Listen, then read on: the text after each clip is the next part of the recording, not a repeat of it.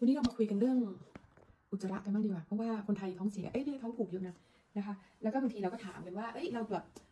ต้องเอ่อดูแบบอุจจาระต้องประมาณไหนถึงจะสุขภาพดีอะไรเงี้ยนะคะ อุจจาระที่สุขภาพดีจริงๆนะ ก็จะไม่ต้องไม่ต้องแบ่งเยอะนะคะ มีลักษณะคล้ายๆกับเป็นงูงูสีน้ำตาลนะคะ แล้วก็มันก็จะไม่ต้องใช้เวลาแบบเบ่งอะไรมากมายอะไรเงี้ยนะคะ แข็งขึ้นมาหน่อยก็จะอีกเลเวลหนึ่งนะ ก็จะประมาณแบบใหญ่ ๆ แล้วก็มีตะปุ่มตะปำอย่างนั้นนะนะคะ อันนั้นเริ่มไม่ดีละนะคะ ที่แบบ อีกเลเวลหนึ่งนะท้องผูกแน่ๆคือเป็นแบบเหมือนกับขี้ก้อนเป็นแบบขี้ขี้กระต่ายอะนะคะที่มันเป็นก้อนก้อนอันนั้นไม่ถือว่าเป็นอุจจาระด้วยซ้ำไปนะคะเพราะมันไม่ได้ complete มันไม่ได้มีการถ่ายอะไรออกมามากมายนะคะอันนั้นนะคือภาวะท้องผูกต่อให้เข้าห้องน้ำทุกวันแล้วออกมาอย่างนั้นนะก็คือคนที่มีภาวะท้องผูกนะคะส่วนในอีกฝั่งหนึ่งก็จะเป็นฝั่งท้องเสียนะคะถ่ายธาตุเบาใช่ไหมเขาเรียกนะก็จะประเภทเบาน้อยหน่อยก็จะประเภทเหมือนกับขี้วัวนะคะมีความเละๆนะแล้วก็หลังจากนั้นอีกอีกเลเวลหนึ่งก็จะเขาเรียกว่าอะไรอะเลวมาหน่อยแล้วก็ ท้องเสียก็คือเป็นน้ำถูกไหมแบ่งกันง่ายๆแบบเนี้ยนะเพราะฉะนั้นบางทีเราก็บอกว่าเราไปสนใจว่าไม่ถ่ายทุกวันเนี่ยถือว่าถือว่าท้องผูกหรือเปล่า ไม่ถือไม่ถือว่าเป็นท้องผูกนะคะ เพราะว่าตราบใดที่เราถ่ายเนี่ยอาทิตย์หนึ่งประมาณอาทิตย์หนึ่งอะถ่ายให้ได้สองหนเนี่ยนะคะ ก็ถือว่าไม่ผูกแล้วนะคะ เราดูที่ไหนดูบ้างเราไม่ได้ดูที่ frequency ไม่ได้ดูว่าเราถ่ายทุกวันหรือเปล่า เราดูว่าลักษณะของอุจจาระเป็นยังไง ถ้าถ้าเราถ่ายวันเว้นวันแล้วอุจจาระของเราสุขภาพดีเอ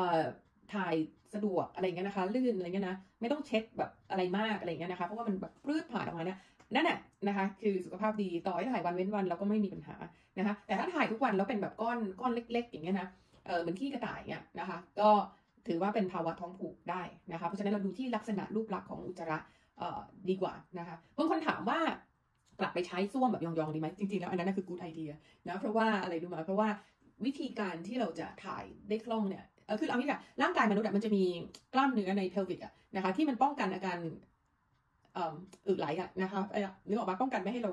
เราอุจจาระหลุดออกมานะคะ เพราะฉะนั้นเนี่ยการที่เรานั่งแล้วก็ยกเท้าสูงจากพื้นนะคะ หรือให้เข่าเนี่ยนะคะสูงกว่าสะโพกเนี่ยมันเป็นโพสเจอร์ที่ดีที่สุดในการที่เราจะถ่ายนะคะอุจจาระของเรานะเหมือนสมัยโบราณอะไรเงี้ยนะคะ ที่เขาถ่ายแบบนั้น อีกทางหนึ่งนะที่ช่วยสำหรับคนที่แบบเป็นโรคแบบ ท้องผูกอะไรเงี้ยนะร่างกายเราอะมันรับมันมันรันด้วย circadian rhythm นั่นก็คือนาฬิกาชีวิต ไม่ใช่เฉพาะการนอนอย่างเดียวนะบางทีเราเข้าใจว่า circadian rhythm เนี่ยมันคือการฝึกให้นอนเป็นเวลา จริงๆ แล้วทุกอย่างเราฝึกเป็นเวลาทั้งนั้นในระบบในร่างกายของเรานะเพราะฉะนั้นเนี่ยเวลาที่เราจะฝึกร่างกายเราเข้าห้องน้ำทุกวันเนี่ยนะคะยกตัวอย่างเช่น สมมติหลังอาหารเช้านะเป็นเวลาที่เราสะดวกจะเข้าห้องน้ำที่สุดอย่างเงี้ยนะก็หลังอาหารเช้าก็เข้าไปนั่ง ไม่อย่าอย่านั่งเกิน 5 นาทีนะคะ เพราะว่าส่วนใหญ่ก็จะชอบนั่งแล้วก็ถ่ายถ่ายโทรศัพท์นั่งกันเป็นที 20 นาที อันนั้นไม่เฮลตี้นะอันนั้นแบบมีเสี่ยงเป็นโรคลินสีดวงตะวานได้นะ คือนั่งเบ่งอยู่กันไม่ได้ ต่อให้นั่งแล้วไม่ออกก็ให้ออกมานะคะทำอย่างเงี้ยทุกวันทุกวันสัญญาการันตีได้เลย3ถึง5วัน